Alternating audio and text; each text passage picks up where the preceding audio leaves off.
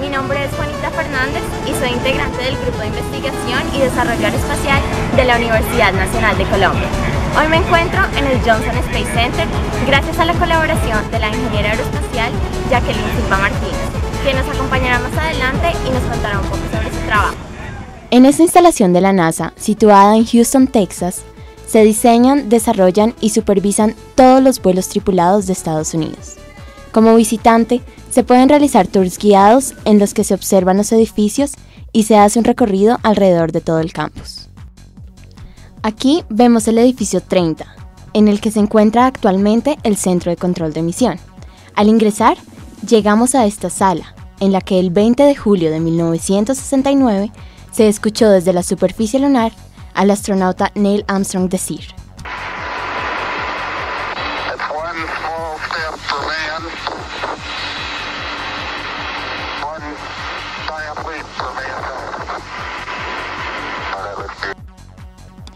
El Johnson Space Center es la base para el entrenamiento de los astronautas.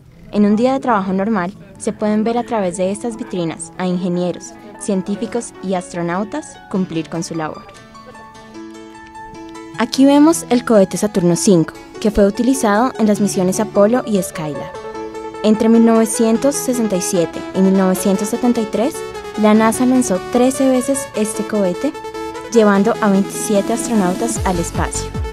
Y desde el 20 de julio de 2007, los visitantes del Johnson Space Center pueden admirar este gran tesoro nacional. Bueno, Jackie, ahora cuéntanos un poco sobre las divisiones o ramas de trabajo que tienen aquí en el Johnson Space Center. En general tenemos uh, un aproximado de 15 organizaciones dentro de solo de este centro de la NASA, uh, varias uh, cosas que se toman en cuenta, pero de los principales está el de ingeniería, el de seguridad de la misión y también el desempeño de los humanos ¿no? y la, salud que se tiene que ver para los astronautas cuando los mandemos al espacio.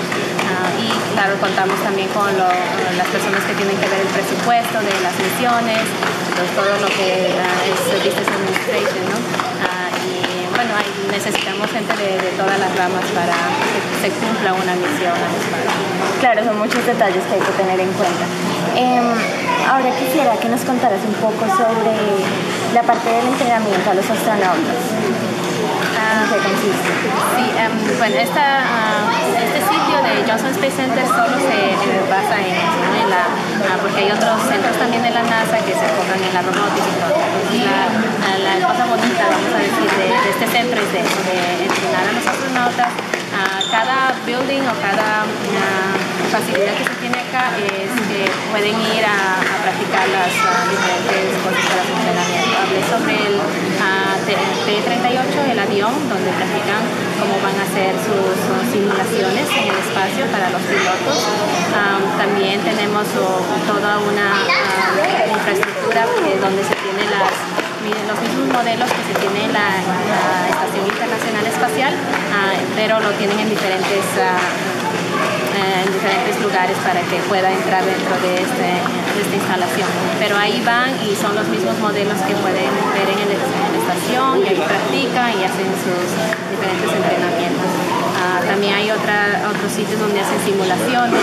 Entonces cada sitio está designado para uh, que entrenen una pequeña o, gran ah, parte de lo que van a ver en el espacio.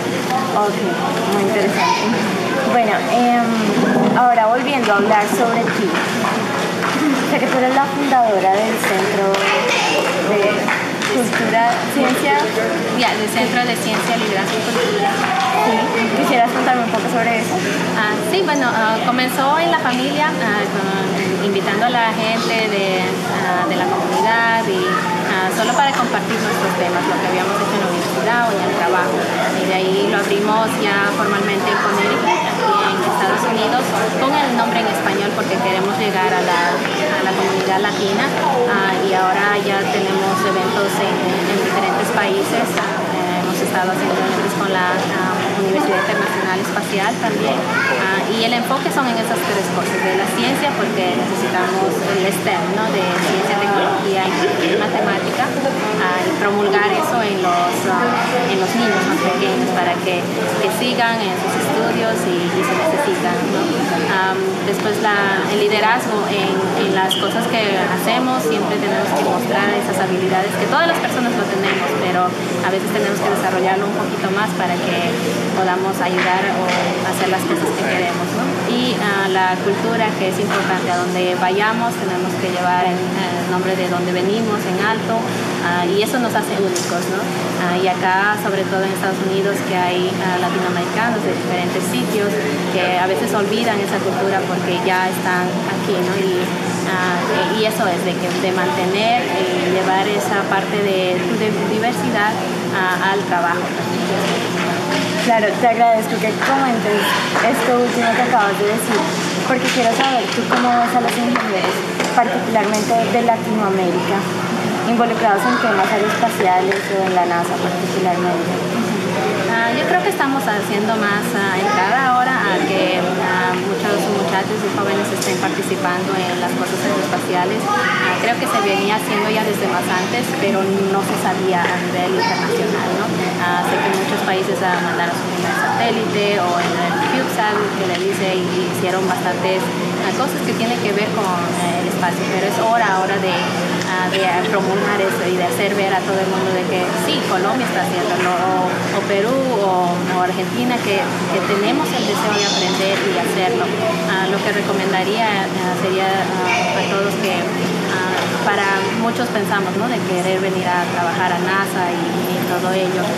y la, la, parte que es más difícil es que solo necesita o pide ciudadanos. ¿no? Pero hay programas, hay programas que va a ser difícil, tienes que llenar bastantes aplicaciones y todo ello, pero um, lo recomiendo, ¿no? Busquen el programa que se pueda hacer.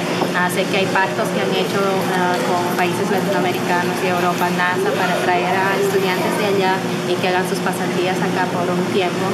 Entonces es de, buscar, es, es competitivo, uh, pero de haber hay, solo tiene que uno esforzarse y tratar de, de encontrar esos programas y bueno, no necesariamente tienes que trabajar en la NASA, sino hay muchas empresas que hacen, la mayoría son contratistas, que hacen el trabajo para la NASA. Entonces trabajar, digamos, en Lockheed Martin o en Boeing o en otras pequeñas empresas que están haciendo muchas contribuciones a, lo que es el espacio. Sí, claro, o sea, es posible, solo es cuestión de interés. Exacto. Eh, bueno, y ahora te pregunto como mujer estudiante de ingeniería, em, bueno, es muy impresionante ver la posición en la que tú estás en este momento y toda la trayectoria que has tenido durante tu vida. Eh, ¿Tienes algún consejo para nosotras, las estudiantes de ingeniería? Sí, bueno, hasta ahora aquí mismo en Estados Unidos el número de mujeres eh, llevando las carreras de ingeniería es poco, especialmente en aeroespaciales.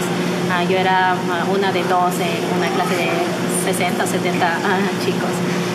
entonces, todavía hay esa parte, una vez que llegas al trabajo vas a encontrar la dificultad de que los, la mayoría de ingenieros que están ahí, como ya son mayores y de una sola cultura y todo eso, es difícil para nosotros demostrar de que también podemos y a veces que podemos mucho más rápido y mucho mejor que ellos. Ah, entonces cuesta ese trabajo por ser minoría, uno por ser mujer y otro por ser hispano, pero ah, se puede. Al comienzo, por ejemplo, me tomó casi un año tratar de convencer al, equipo con el que estaba de que puedo hacer lo mismo que ustedes y eso más rápido. Ah, y me, ya me dieron, una vez que estableces, ven que, que puedes hacer y te dan más oportunidad que no tomes roles de diferentes proyectos y, todo ello.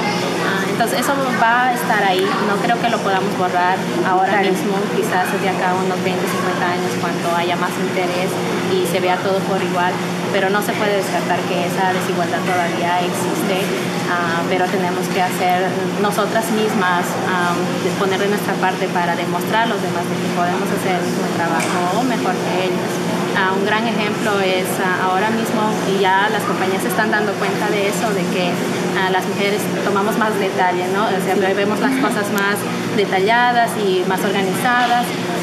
y ya hay muchas mujeres que están a niveles de liderazgo en la parte aeroespacial. la misma directora del centro de aquí es una una mujer y es la primera astronauta que, de de descendencia mexicana o hispana que ha estado en la estación espacial. Entonces, es Helen Ochoa y ahora es la directora del centro. Entonces, es un gran cambio también, ¿no? pero se acoge porque ven que sus capacidades son las que se necesita para un empleo, para desempeñar un rol así. Entonces, a, seguir luchando y demostrar a todos de que, que sí podemos. Adicionalmente, hay una serie de atracciones y exposiciones que van desde rocas lunares hasta simuladores de vuelo.